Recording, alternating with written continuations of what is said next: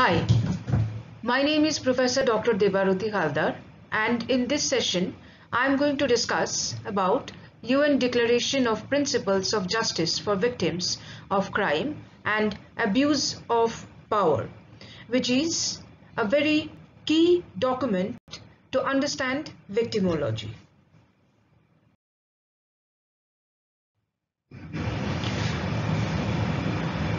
During 1948 to 1985, there was a paradigm shifting of victim assistance stakeholders. From families, it went to state and to non-state actors.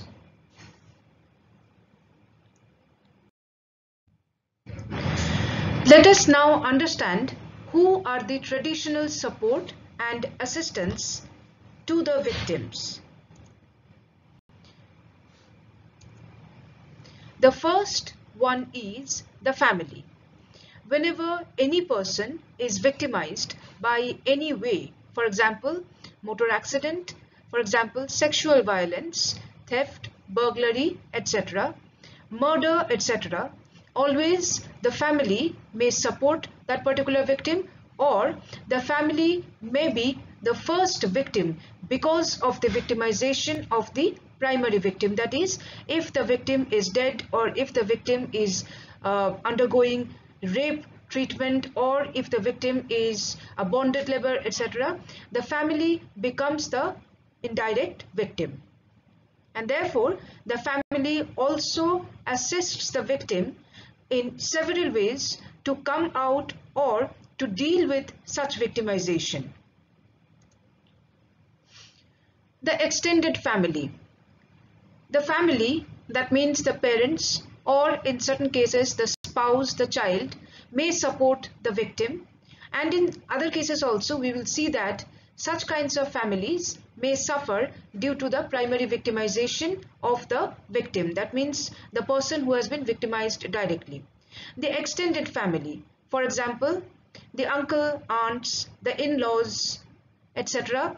They may also be pulled in for supporting the victim and also the victim's family to deal with victimization. Then comes the village.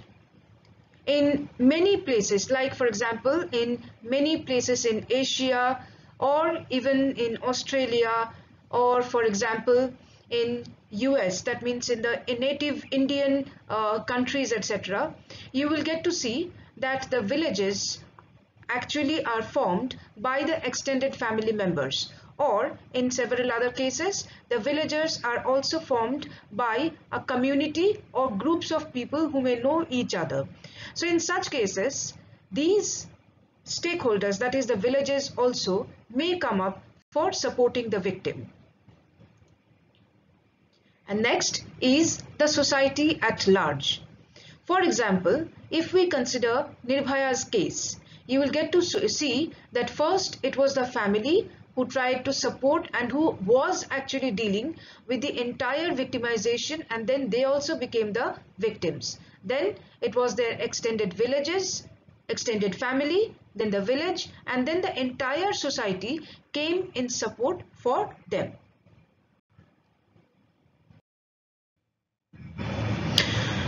So during this time, that means when the paradigm shifting was happening, there were many developments that were noticed for victim support. For example, there was development of new support system that is the state.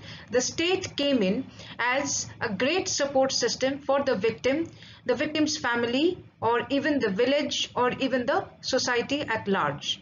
There was also development of system of justice. This is the system of impartial justice. There was also identification done for specific forms of behavior as good, morally good, legally good, bad, morally bad, legally bad by the state. Each may have their own importance. For example, which behavior can be considered as good or morally good may not be legally good. For example, if a person is asked by the panchayat to keep quiet for 24 hours, that can be considered as good or morally good for the other people, but it may not be legally good because his right to speech, expression, freedom of speech expressions, etc. are curtailed. Again, you'll also get to see there are some kinds of behaviors which are considered as bad, morally bad and legally bad. For example, gay marriages or for example, transgenders behaviors or rights. These may be considered as bad or morally bad by certain societies, but now, as per the present understanding, they may not be considered as a legally bad behavior by the state. State became dominant as victim, dominating the actual victim because from this time onwards, that is with the development of victimology, the state started sharing the responsibilities of assisting the victim and also started sharing assistance to the victim by nabbing the perpetrator, by providing justice to the victim, etc. The state also started offering assistance which is legally right for the interest of the state. That means when the law has been created, the state had the responsibility to see that such laws are not violated and if anybody violates such laws by harming general people that person becomes a perpetrator against the state and the state becomes the victim because the state made laws are violated the state made norms are violated and the perpetrator has uh, victimized not only the actual victim but also the state Now, the question is why victims would sought for state assistance and not family assistance? Positive aspect The social power of the victim is lesser than the perpetrator. In many cases, we will get to see that the perpetrator will commit some kinds of victimization and then he will escape the clutches of the victim. That means he will escape from that place or he will start threatening the victim or he may go away to uh, some other place where the victim or the uh, the assistants of the victim that is the family the extended family etc may not be able to catch them in that case if the victim seeks assistance from the state the state may be able to provide some sort of help so that this perpetrator can be caught and brought within the meaning of criminal justice system. Next is the protection of victims through criminal law and social security. If the perpetrator is arrested, one that is once the victim complains to the uh, state through the police me mechanism, the perpetrator may be arrested, he may be detained and also he may be uh, tried as per the proper criminal law uh, on the basis of natural justice and also on the principles of fair trial.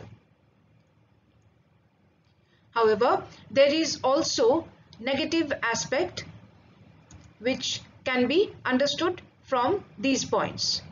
The actual victims will be forgotten for example, in such cases, the state becomes the dominant victim and the direct victim, uh, victims may become the not dominant victim. That's the reason that we get to see cases like state versus Ram Singh. This is the case of Nirbhaya case where the state became the dominant victim. However, the actual victim also stays there but it is the state who becomes the actual victim and the actual victims were or are forgotten. The victim faces insensitive treatment from the police, criminal justice system, etc. at the beginning. There may be cases where the victim will not be trusted by the police, the prosecution. The victim may be called for examination again and again.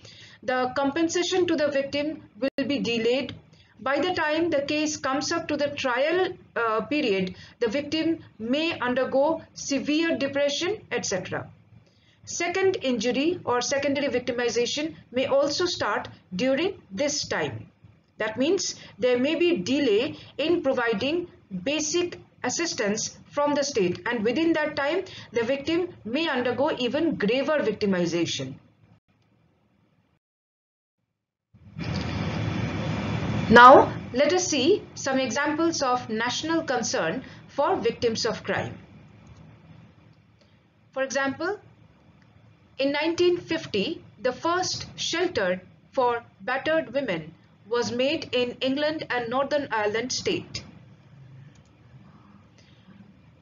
In 1963, New Zealand started the compensation scheme for the victims of crime. In 1955, Israel started the Child Protection Scheme. 1970, United King Kingdom started the Crisis Center for Sexual Offences.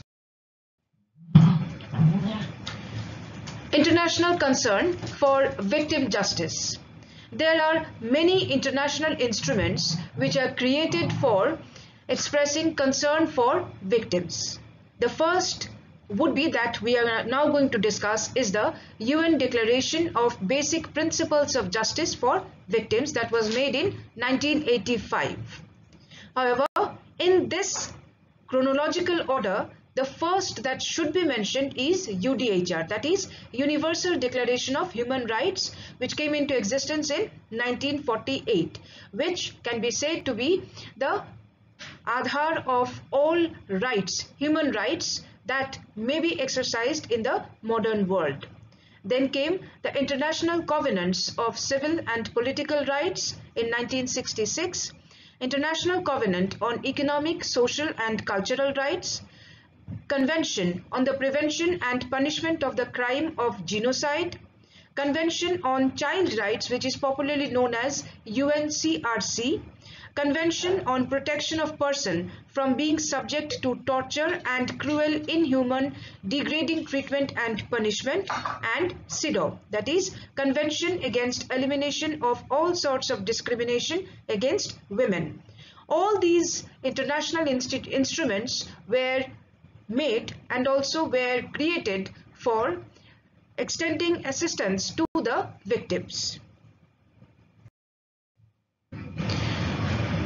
UN Declaration of Basic Principles of Justice for Victims of Crime and Abuse of Power basically was created for assisting the victims that is victims of crime and victims of abuse of power. This actually can be tracked or can be the history of this can be traced to the world war that means the plight of victims of world wars were addressed by UDHR and then it was found that these victims or such kinds of victims may not have proper uh, assistance either from their family or from their extended family or from the uh, villages because all three uh, units may be affected because of such kinds of war. Again, the background can also be traced to confused identity of victims during the human right explosion era. During that time, lots of human rights were recognized by courts of different countries. And during this time and also before this time, there were many rights which were not recognized by the police and the criminal justice machinery.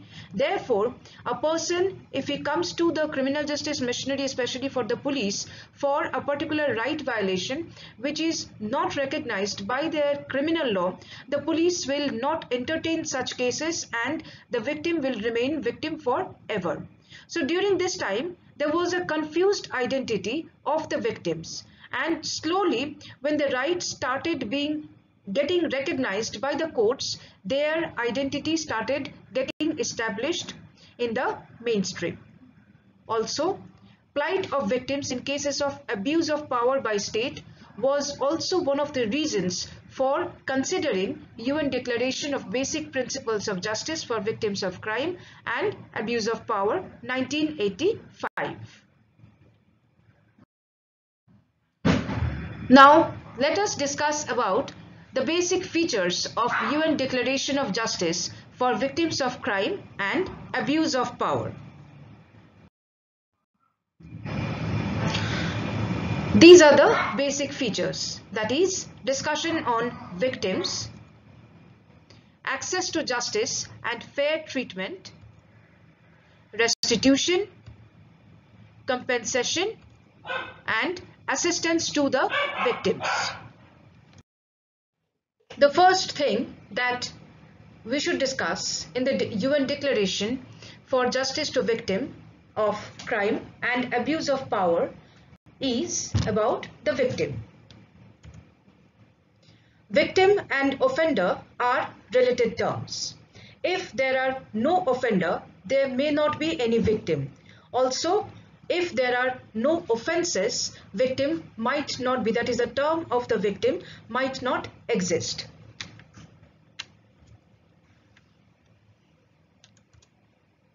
So, the term victim will actually mean a person who has suffered, suffered any pain, suffered human right violation, etc. Sacrifice. The victim may had to sacrifice his rights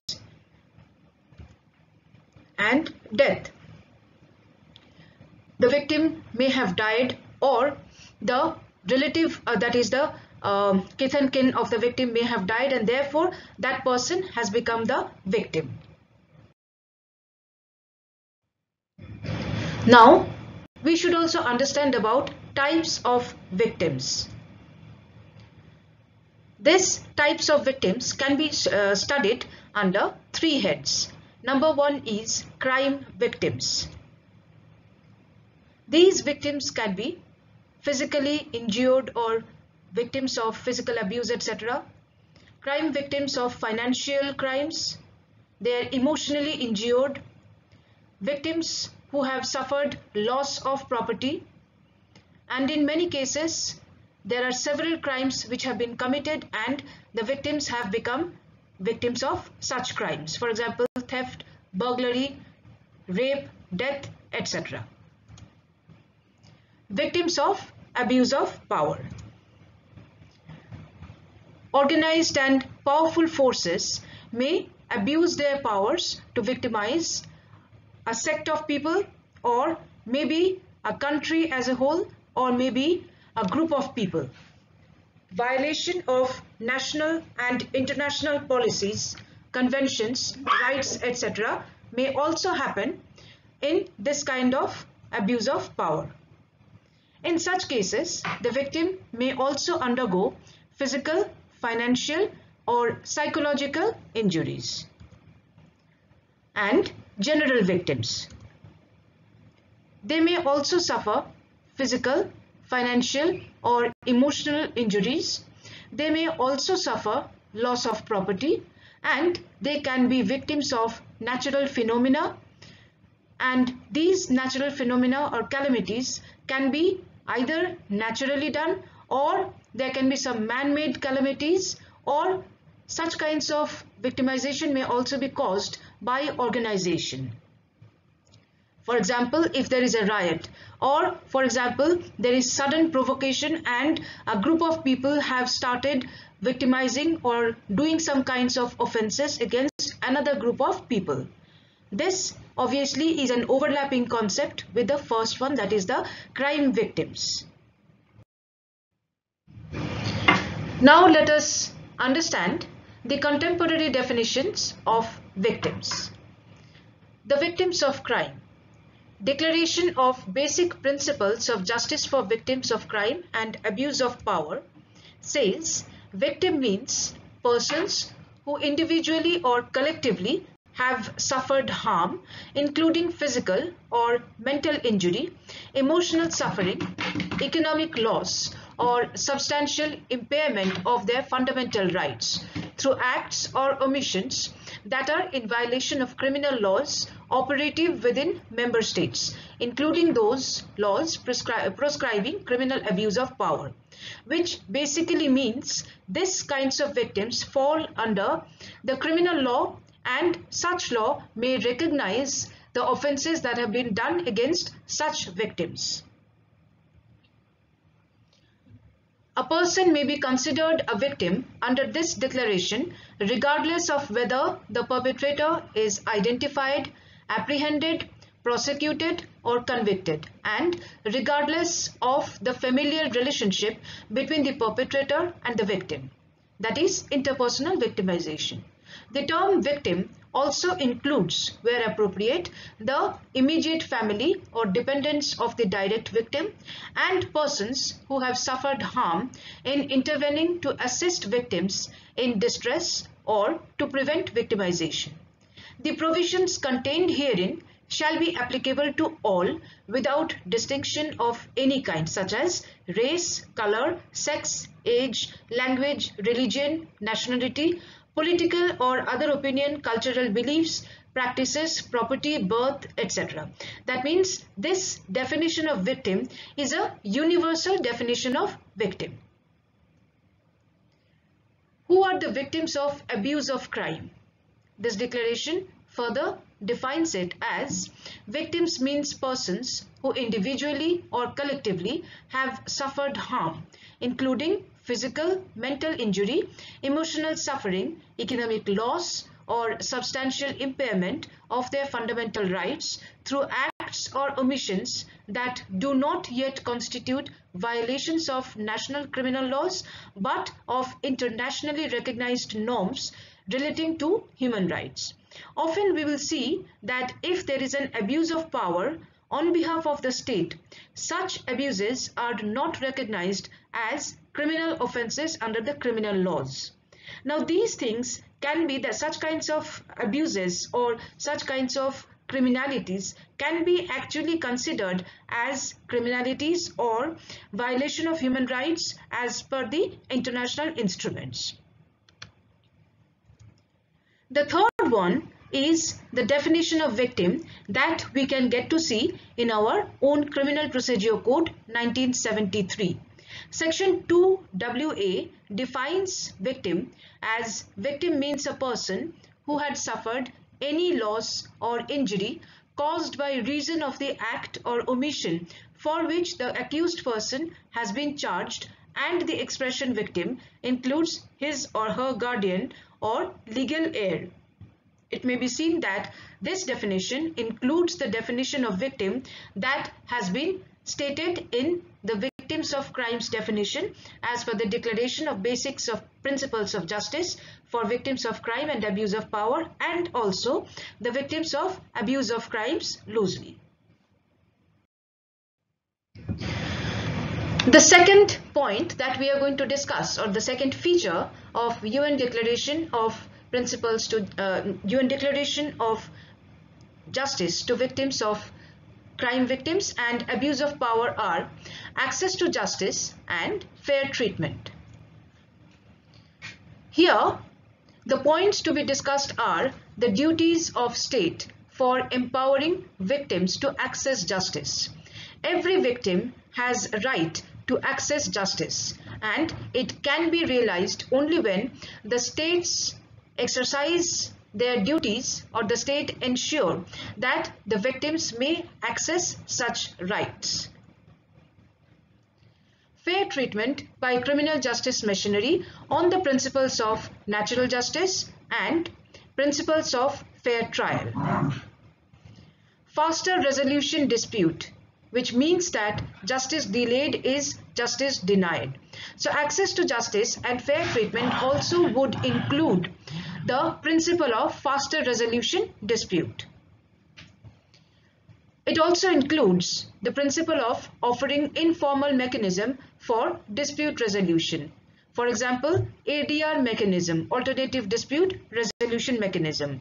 You will get to see in many cases, lok adalats, motor vehicle lok adalats, uh, etc. may be arranged for the earlier dispute resolution and this can be included within the meaning of access to justice and fair treatment.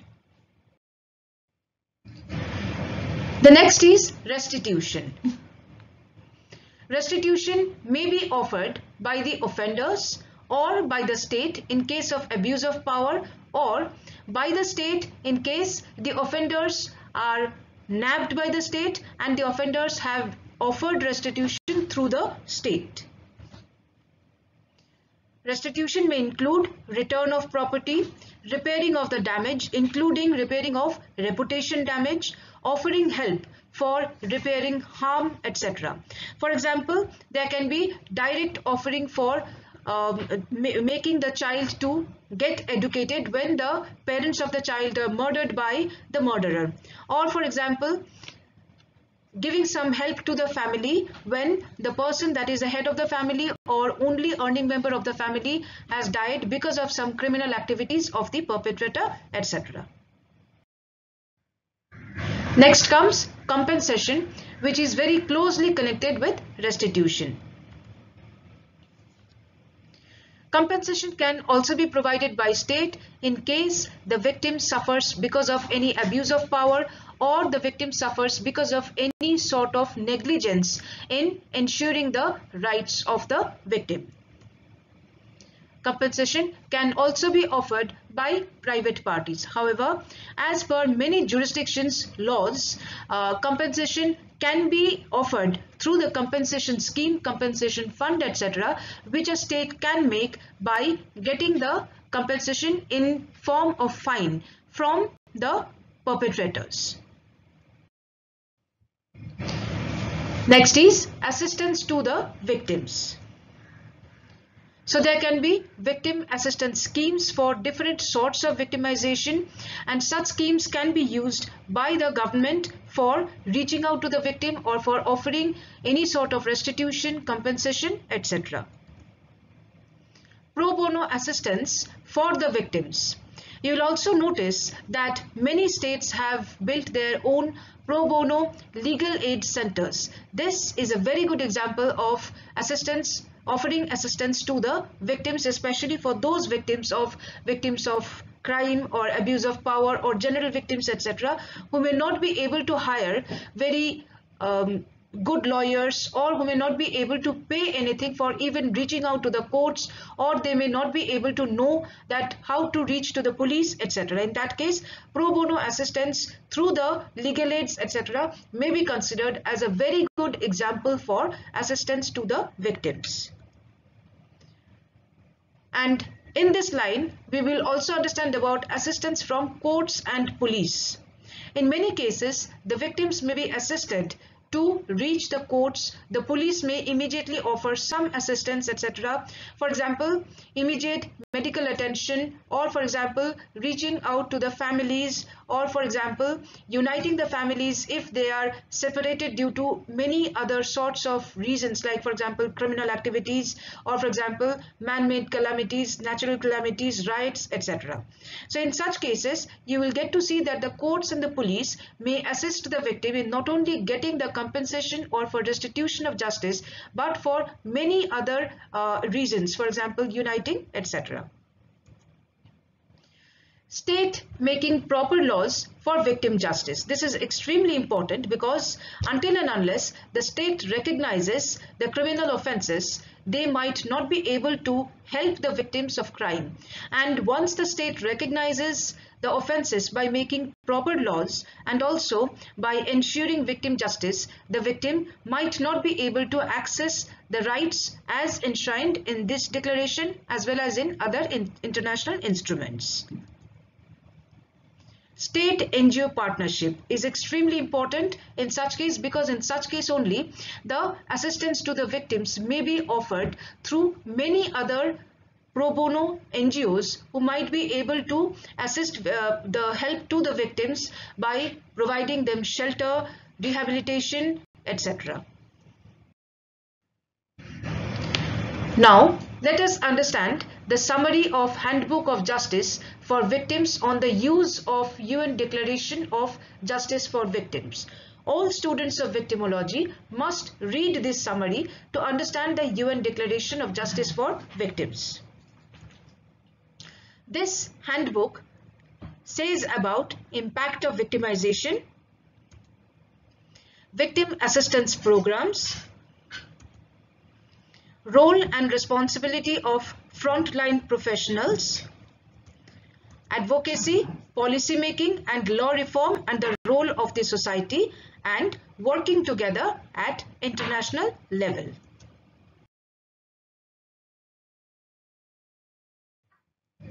Thank you.